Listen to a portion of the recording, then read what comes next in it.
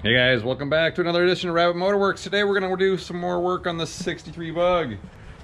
And we're to take and tackle that dirty carburetor and do a rebuild of it. So let's work on getting that thing off the car and hope you enjoy the episode.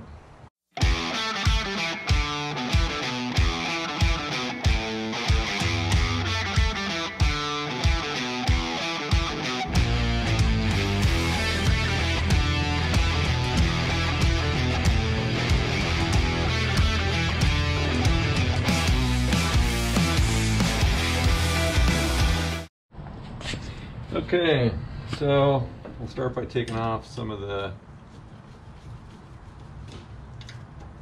fuel lines here. Get that out of the way.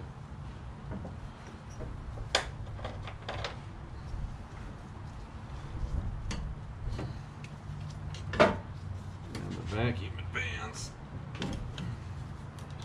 for the carb. And I think I'm going to take the rotor off as well. Yeah.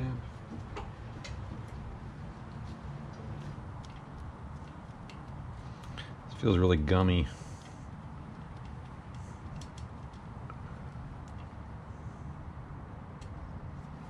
Okay.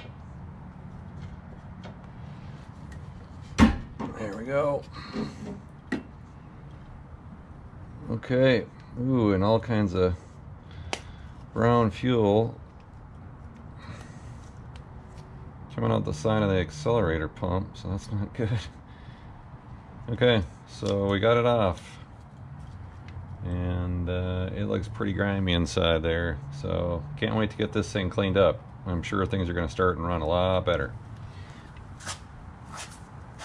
So we got the carburetor off. We're going to do some cleanup of this thing. Man, is this thing dirty. I didn't realize how bad it was until I actually got it on the bench and started looking at it, but you can see it's seeping in a couple of places. Um, one of the washers broke off even when I was taking it out of the car. But um, yeah, it's pretty bad. So I bought a carb rebuild kit, which is cool. I've also got some Simple Green full strength, and I'm gonna mix up a batch of that and put it with some boiling water into this um, container. That's gonna be our uh, cleaning. Uh, we're gonna basically soak everything. But first we need to basically take it down and uh, get those parts uh, ready to put in the cleaner. So, there is a lot of stuff. Yeah, there's a lot of stuff going on here. So there's a tag for one.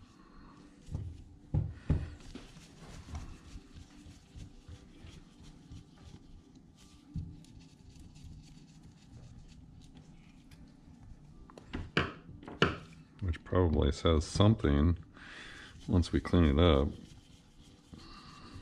Feel that tension on that, but set that over there.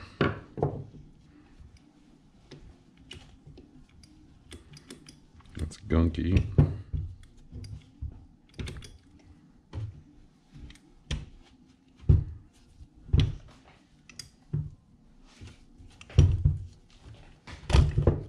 Okay, there's the top.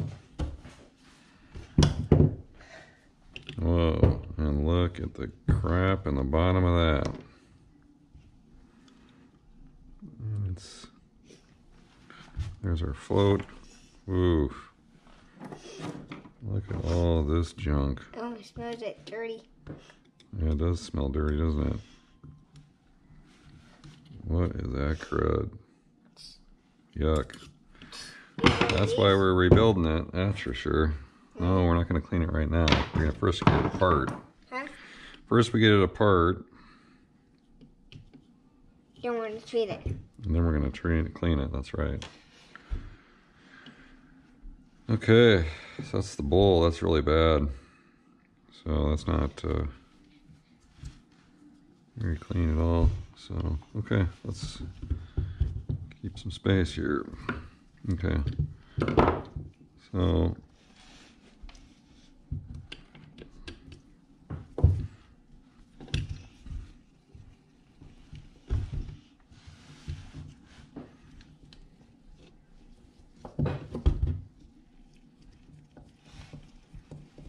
this is one thing I noticed is the stud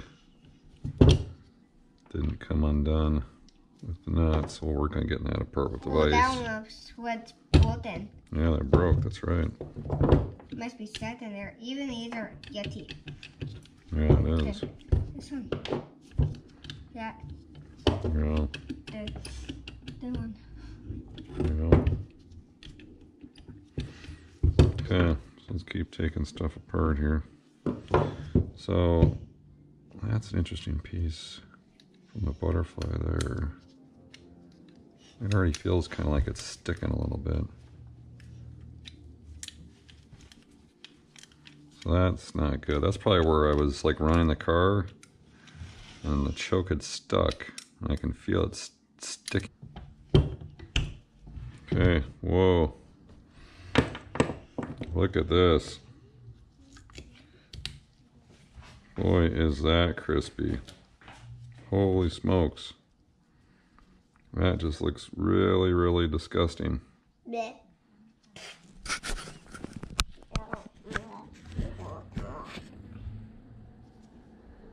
Everybody see that? Yeah. Holy smokes. Okay.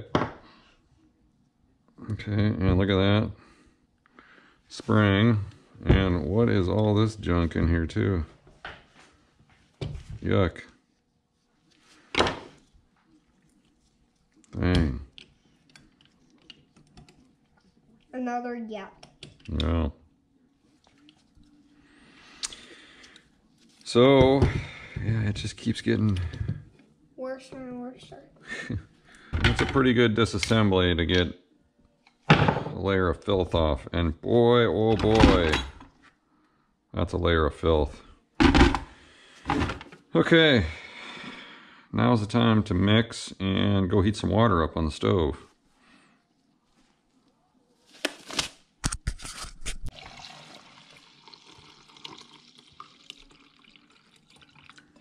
Okay. Now there is half a gallon of that left. That actually smells good right here. Yeah, That smells good. it does, doesn't it? Okay, so now this is ready to go into here. Oh, now we need some boiling water, Boy. and we'll have to wait until that comes off the stove. Okay, so we got our hot boiling water here. I'll stick off the base gasket. Put the float over here with that.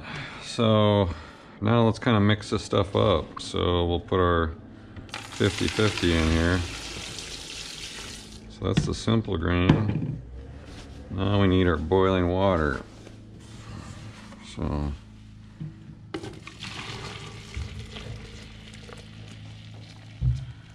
um, that's pretty good. So that's boiling water.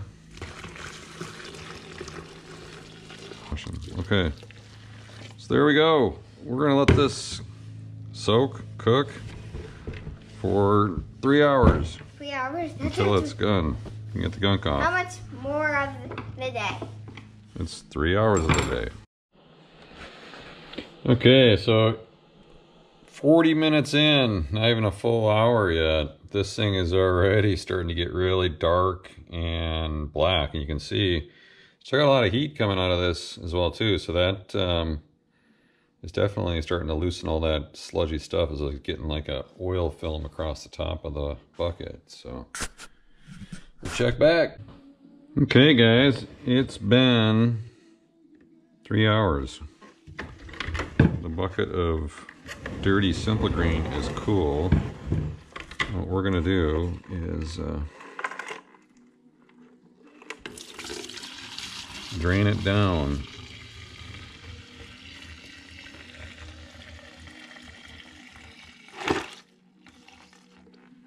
Okay. Here we go. So, well, we got a little bit of scrubbing to do, but it's definitely taking a fair share of stuff off. What I'm gonna do, I like that. I kind of like dirty. It is.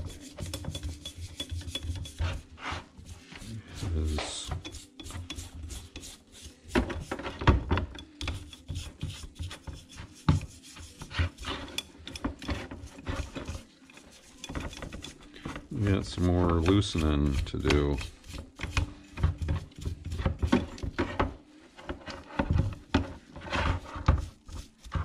So by no means is this something where you're just letting it soak and you're done.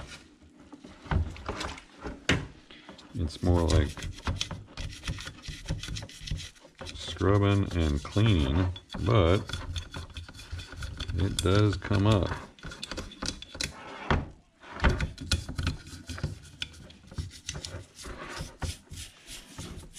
Uh, it's kind of dirty still, but it's not that dirty.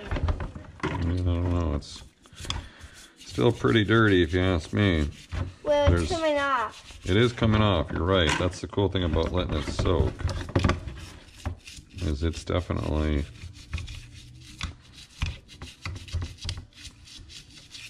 loosened everything up, right? Always gets dirty and it gets clean. Yeah. The cool thing is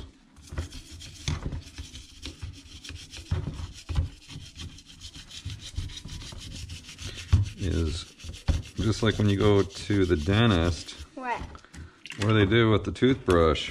Brush your teeth? Yeah, they brush your teeth, except what are we brushing? Carburetor. Yeah, we're brushing the carburetor. And the carburetor has definitely not been to the dentist in a while. Boy, but look at that one. Whoa. I can actually have to see Yeah, that. I see some clean stuff under there. Boy, does that clean up nice when you polish it out, Yeah, huh? that is nice because see that words you see right there? Yeah, They can actually you can see them better when you're actually cleaning it up. yeah. First I saw it, but it was kind of dirty. The words. Yep. That almost seems what's right the shiny new carburetor with a new one. Almost. Yeah, Maybe it's in the wood like that one. I hope so.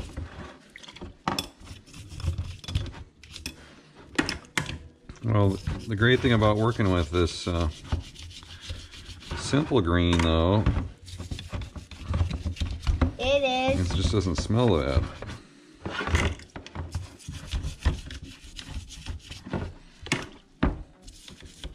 But there are different cleaners different jobs.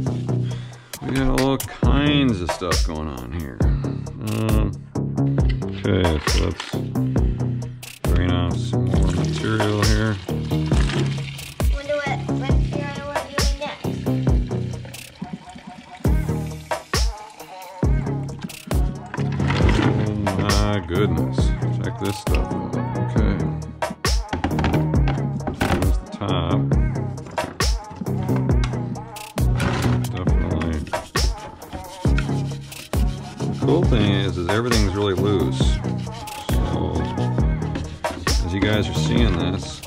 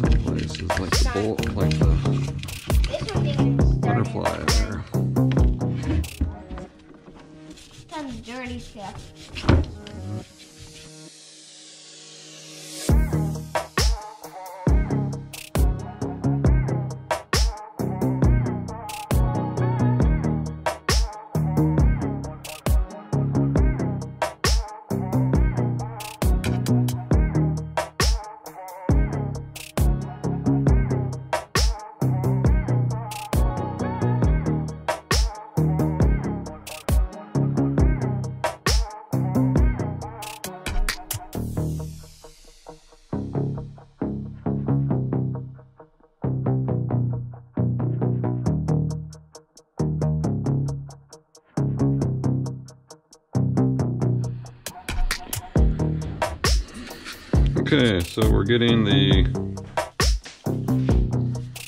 remaining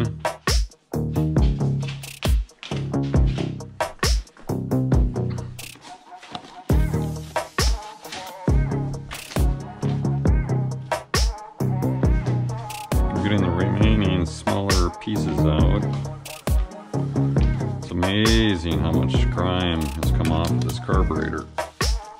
And uh, we're continuing to keep cleaning it, Junior and I here. So, okay, so we're done cleaning things, and boy, do things look way better than they used to. Way.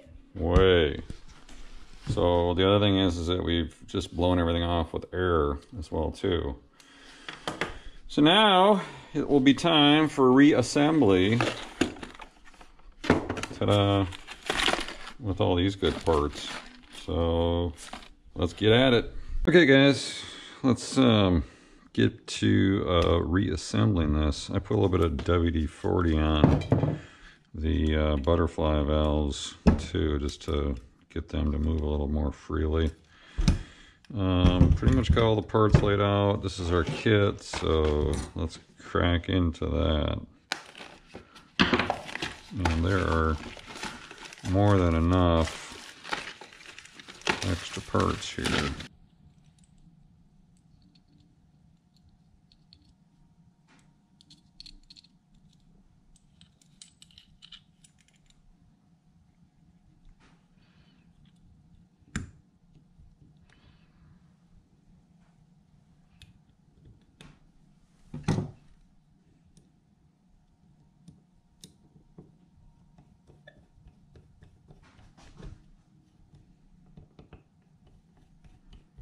So lots of precision.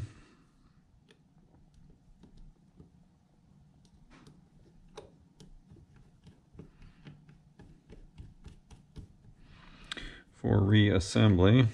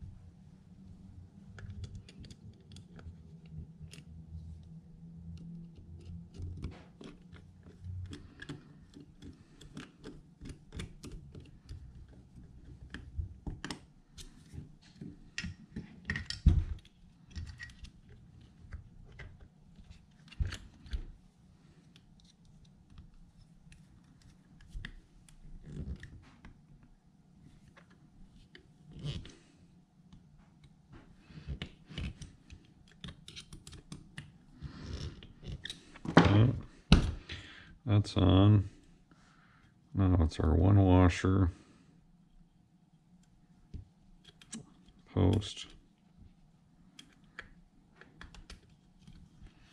And following washer.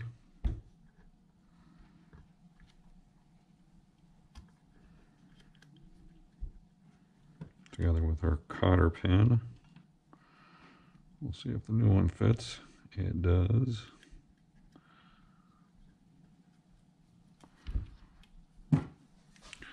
So bend this over.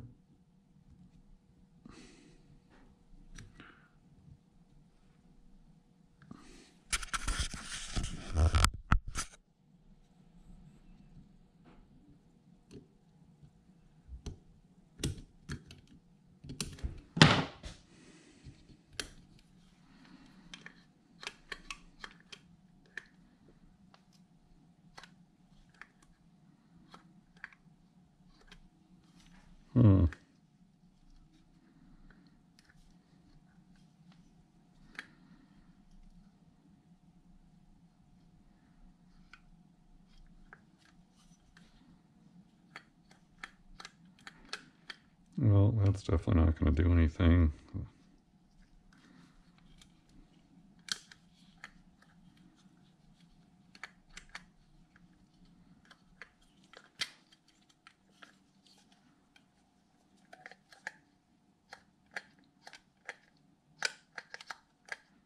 There we go. Cool. It's good action.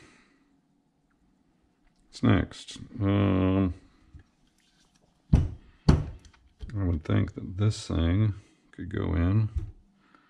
And the question is, is do I use a new one of these washers? Or do I use the existing one? Kind of curious about these.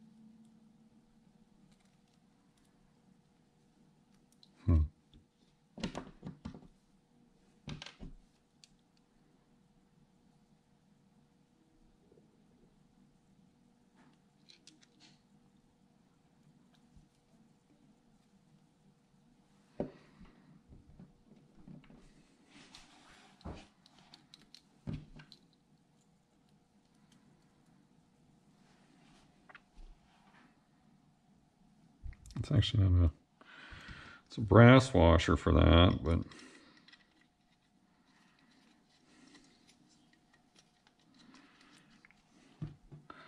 that's fiber there. Uh, this one was fiber.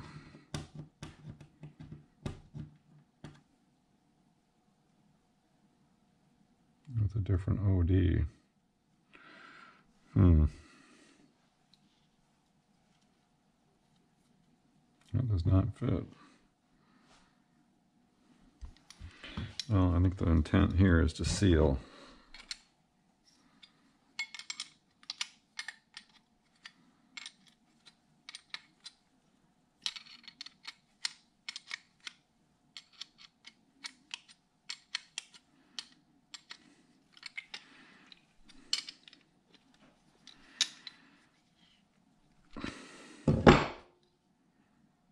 Okay. That's definitely in.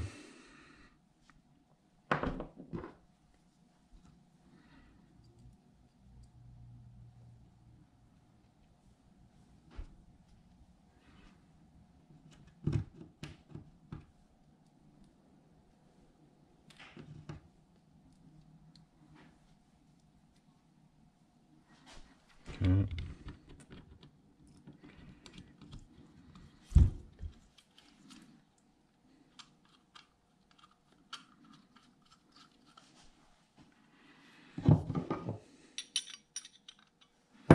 That's 14 again.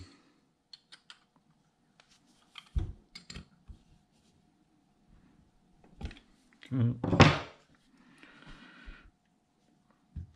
That's good. Uh, this goes back in here.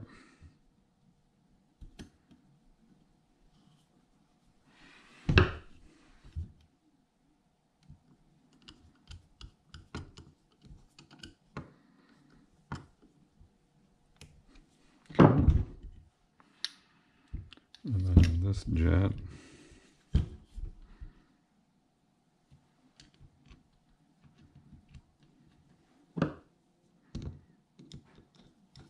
Goes back in here.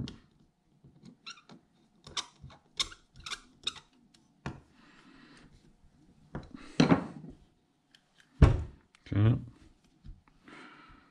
This goes back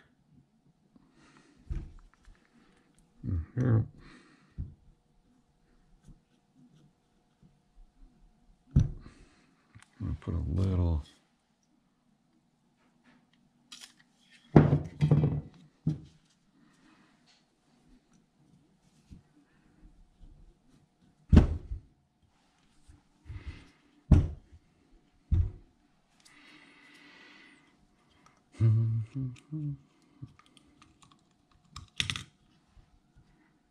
It's like that.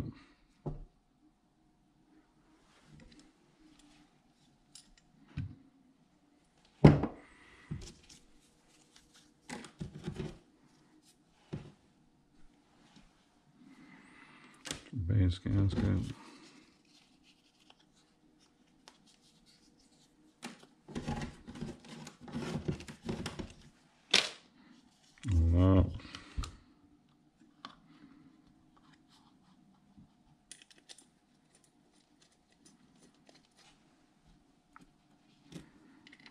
Oh, rebuilding carburetors. How much fun. I think that's where our uh, tag went.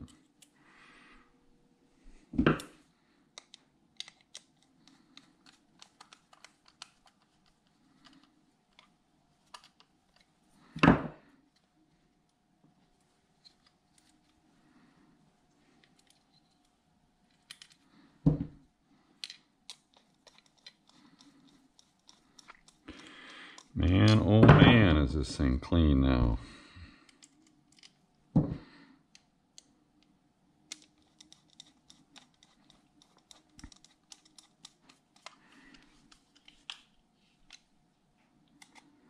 And I mean, just like that, this thing is almost back together. So...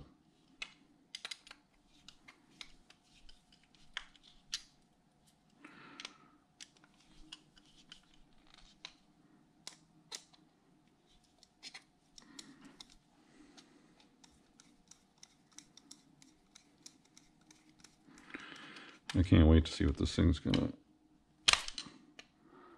be like when we get it back in the car.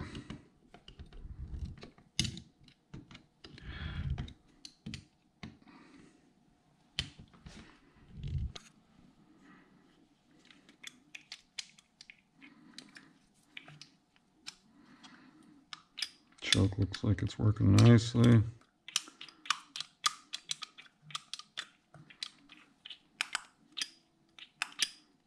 Sticking.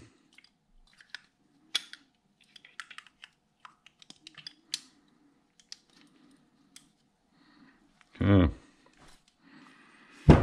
Last piece is the choke.